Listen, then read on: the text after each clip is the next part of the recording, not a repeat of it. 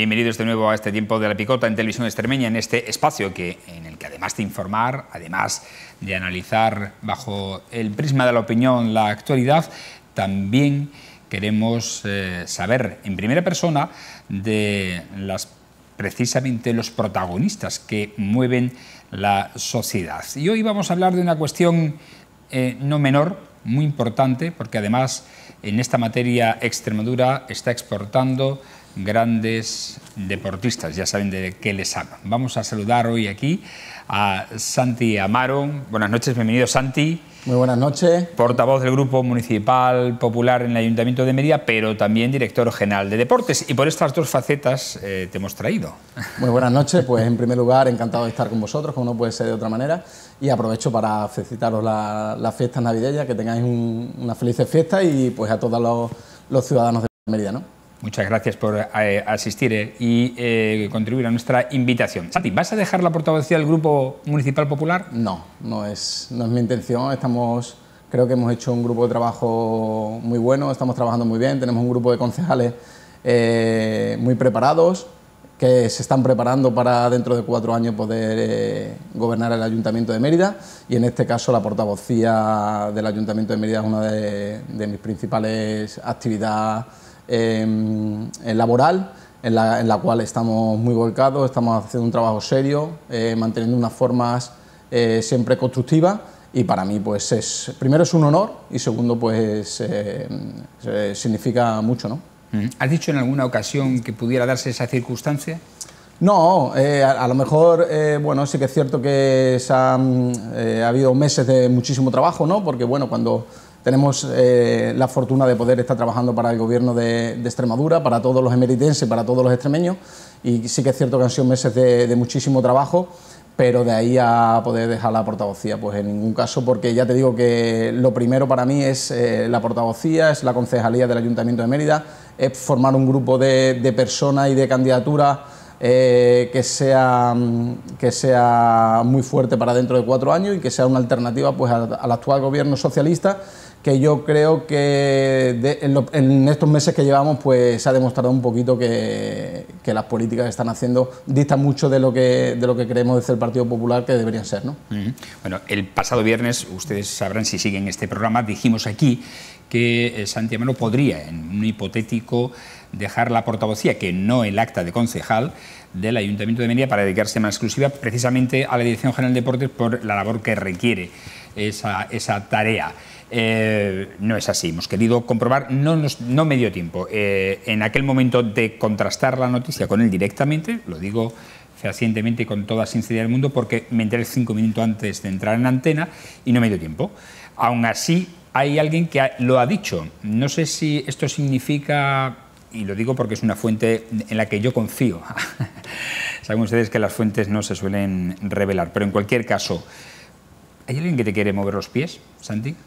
A ver, eso no te lo puedo decir, ¿no? Depende, cada uno dependemos, somos dueños de, nuestras palabras, ¿no? Eh, no lo sé. Eh, no, no, podemos estar pensando en lo que piensan otras personas, lo que piensan otros grupos políticos, lo que piensan, eh, bueno, pues un entorno a lo mejor que, que dentro de la política, bueno, pues siempre hay a lo mejor algún, interés que no puedes controlar, ¿no?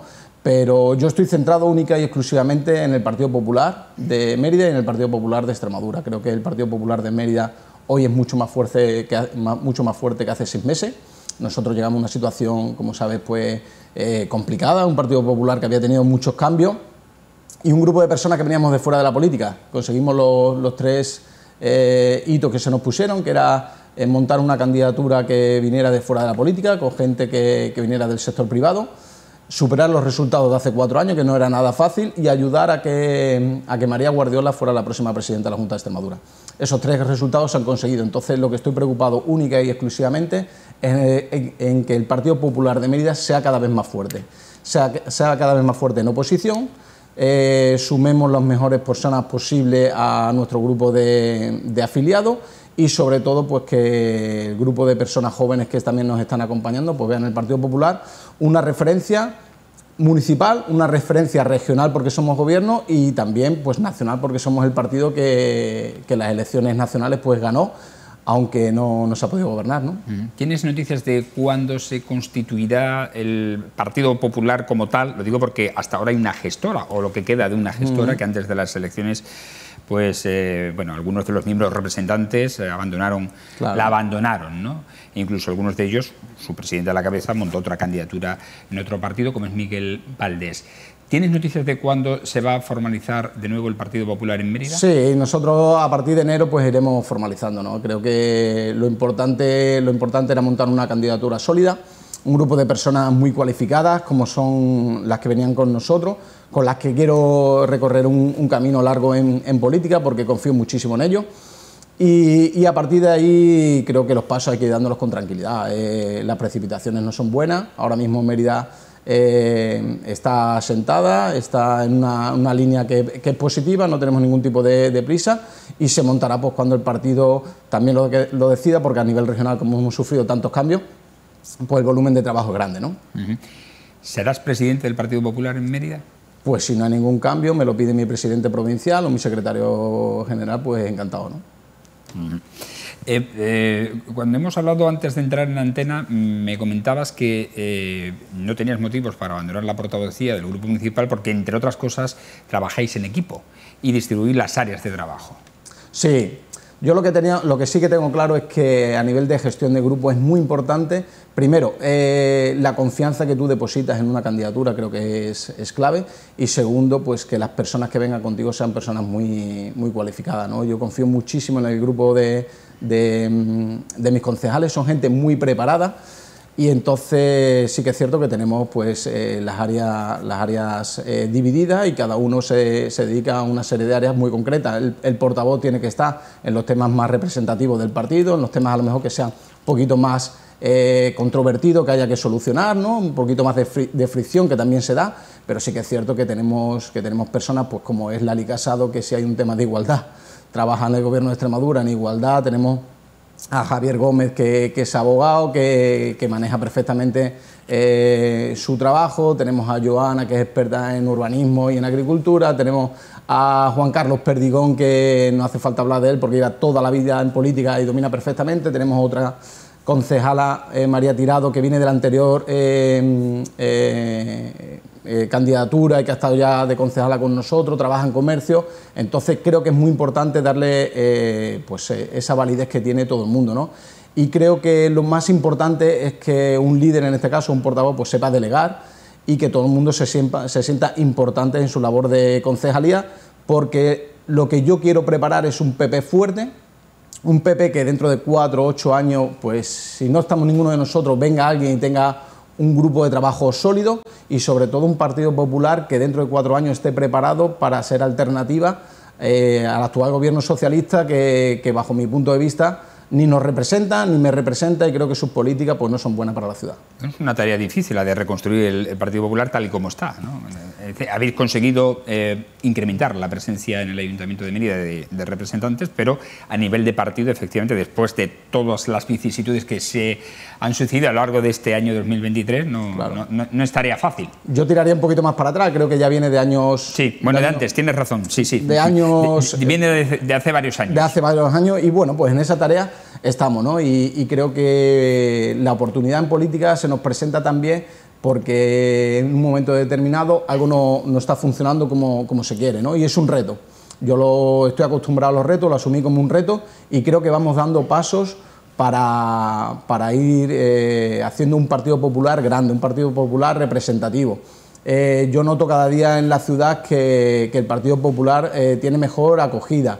creo que las políticas que vamos a llevar a cabo desde el Gobierno de Extremadura eh, con, los presupuestos que se están debatiendo en la Asamblea. Creo que son políticas que puede haber una subida de presupuestos, habiendo una, subida, habiendo, eh, una disminución de, impuestos y sobre todo creo que, que Emilia pues, tiene mucho recorrido por delante en su tejido comercial, en su tejido empresarial y sobre todo que la falta de, autónomos y de grandes empresas pues es un condicionante, ¿no? Y ahora, desde la perspectiva de director general de deportes, eh, eh, ¿cómo ayudáis desde la Junta de Extremadura en esta materia a los deportistas y a los clubes emeritenses? Bueno, la Dirección General de Deportes es el abanico que, recoge a toda, la, eh, toda Extremadura, ¿no?